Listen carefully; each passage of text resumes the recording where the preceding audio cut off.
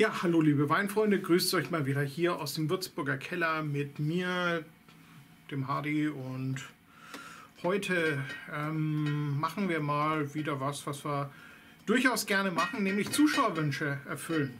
Vor ein paar Wochen kam einer von euch auf mich zu, ob wir nicht mal das Weingut Lämmlein Schinder äh, präsentieren wollen. Und ja, ich habe was besorgt habe was eingekauft und da habe ich mir gedacht, dann probieren wir das jetzt einfach auch mal.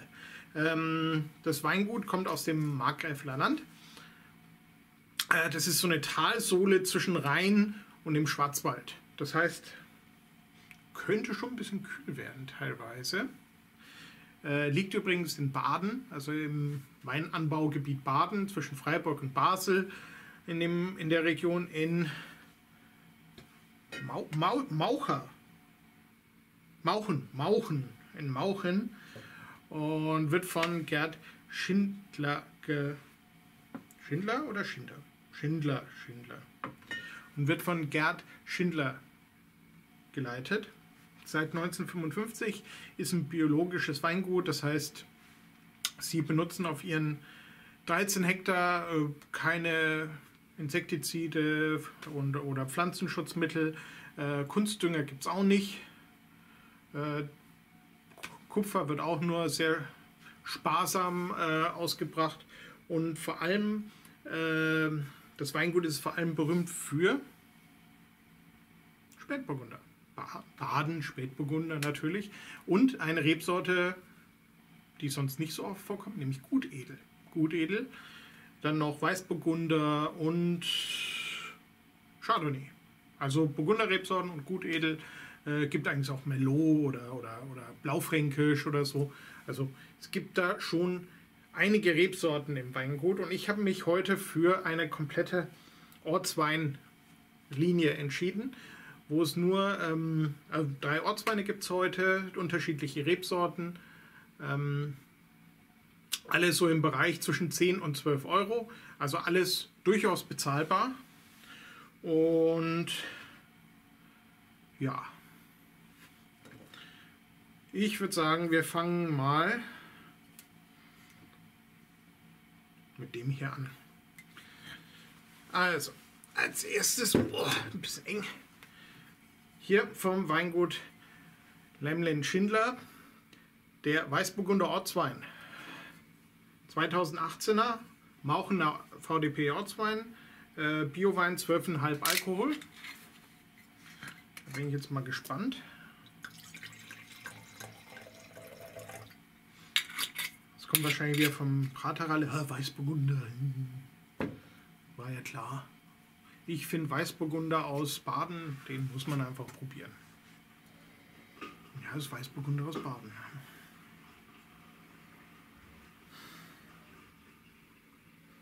Äh, reifer Apfel. also nicht grüner, sondern schon roter Apfel.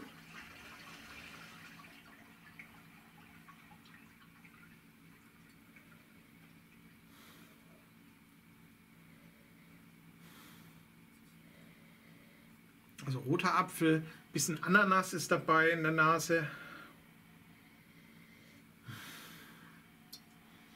Fragt ihr euch, warum ich ein Burgunderglas quasi für Weißwein nehme? Große Weine brauchen große Gläser.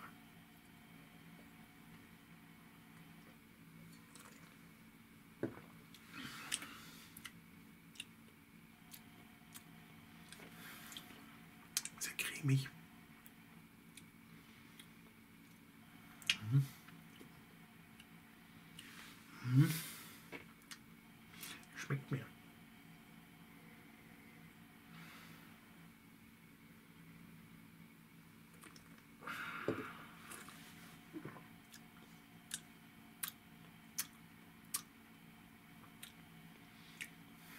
Also Säure sehr moderat, trocken.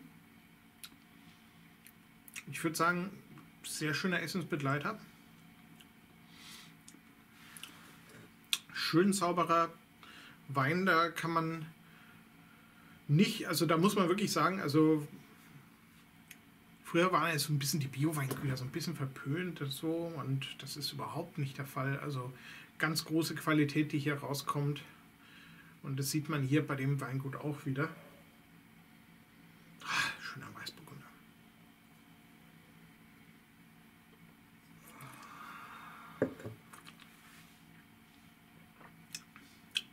Richtig schön. Kräftiger, kräftiger Weißburgunder. Das ist nicht so dünn, dünnes Zeug, sondern richtig schön Extrakt, richtig. Da ist richtig ein bisschen Dampf dahinter. Zweiter Wein. Nämlich auch hier vom Weingut Lemlin Schinder, noch mit dem alten Etikett. Äh, Gutedel, 2017er Ortswein Alte Reben.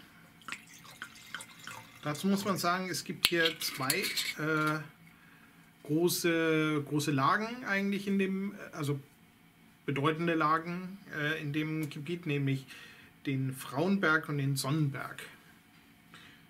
Und hier alte Reben. Bin mal gespannt.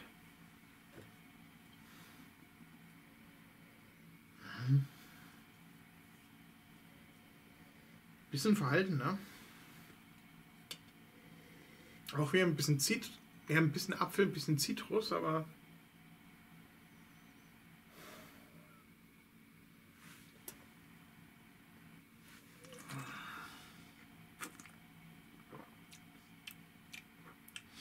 schon ein bisschen mehr Säure als der Weißburgunder daher.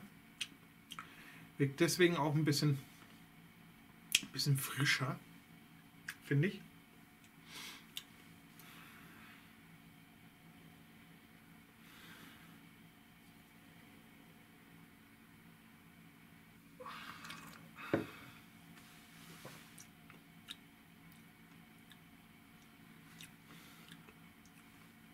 Gefällt mir auch gut.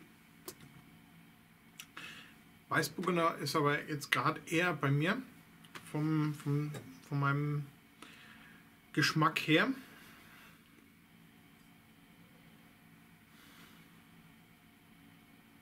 Das Apfelige kommt hier ein bisschen mehr. Eher, eher hier der grüne Apfel, nicht so ein roter, sondern eher grün.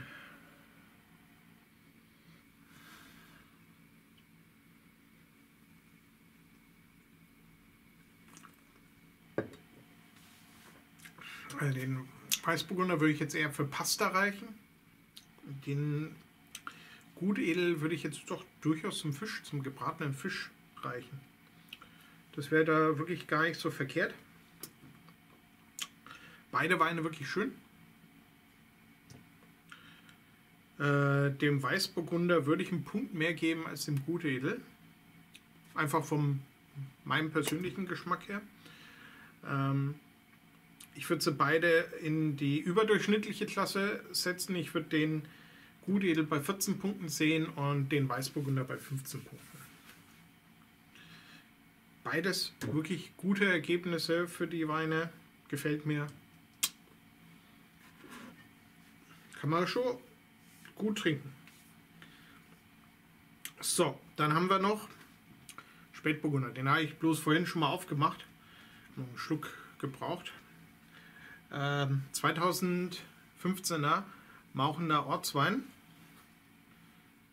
Äh, ja, Spätburgunder 2015. Mal schauen, was der so kann. Ist Spätburgunder. Also, hm. also ein bisschen, auch ein bisschen gehaltvoller, sage ich jetzt mal. Also nicht so leicht, sondern wirklich so. Hm. Ja, vom Alkohol her sind wir bei 12, glaube ich. 12% Alkohol. Der ist auch selten, dass mal ein Rotwein weniger Alkohol hat als die Weißweine, die wir vorher getestet haben. Die waren nämlich bei 12,5. Schon ein bisschen Kirsche. Aber nee, nee. Da kommt noch. Ah, Schlehe, Schlehe dazu. Doch Schlehe ist hier drin.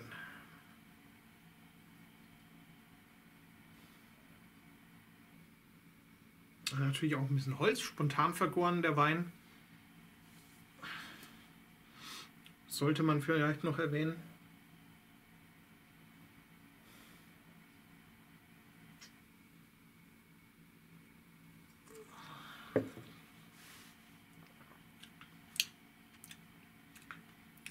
Also nicht so dünn, aber wirklich schon gehaltvoll, kräftig. Für einen Spätburgunder. Hm? Auch für 12 Euro müsst ihr erstmal sowas finden.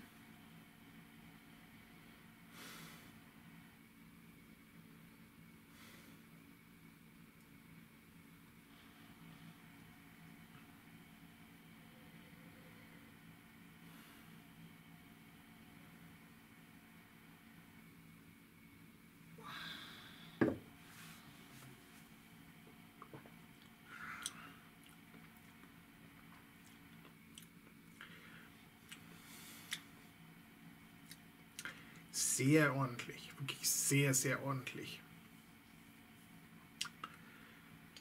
Also für 12 Euro so ein Spätburgunder. Richtig schöner Wein zur Steak, zu Schmorgerichten. Also Rinderschmorgerichte, Rouladen. Rouladen sind da immer sehr schön. Also gefällt mir auch sehr gut. Also muss ich gleich nochmal ein Schlückchen probieren. Man weiß ja nie, wie der so ist.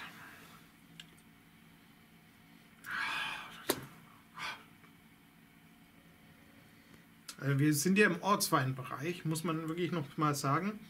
Äh, da gibt es ja noch erste Lage und große Lage. Also von dem her, da ist noch ein bisschen Luft drin nach oben.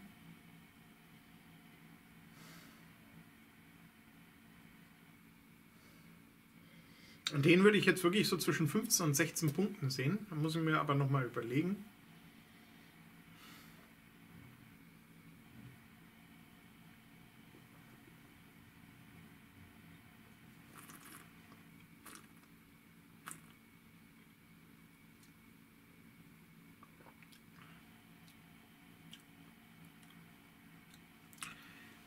15 und er kratzt an den 16. So richtig schön von unten. Ähm, ja, ich würde sagen, hier. Weingut, absolute Empfehlung von uns. Probiert da einfach mal was. Äh, für den Gutedel-Fan ist hier auf jeden Fall was geboten. Mit äh, 25% Gutedel auf dem, im Betrieb. Und da kann man Nichts meckern. Gut Edel und Spätburgunder. Weißburgunder und Chardonnay. Klingt nach einer coolen Mischung eigentlich. Ähm,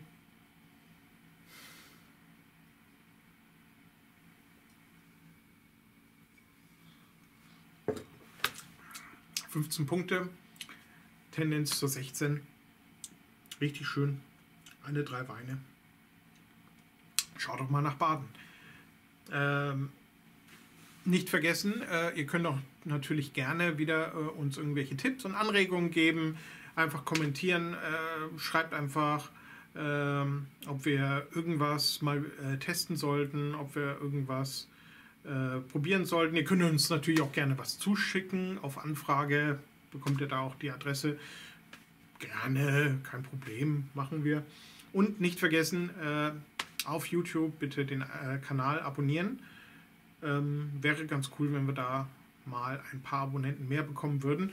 Äh, auf den anderen äh, Social Media Seiten ähm, ist es deutlich besser. Bloß schaut doch nochmal auf YouTube und klickt einfach mal auf Abonnieren. Wäre cool, wenn ihr da ein bisschen äh, ja, einfach so einen Klick machen würdet. Ihr bekommt dann auch sofort immer eine Mail, wenn ein neues Video online geht. Meistens sogar ein kleines bisschen eher als im Blog. Also wer noch ein bisschen schneller up to date sein möchte, was hier bei uns in der Weinwelt so bei Werner Vino passiert, dann einfach mal bei YouTube vorbeischauen. In diesem Sinne, macht's gut und trinkt's auch mal baden.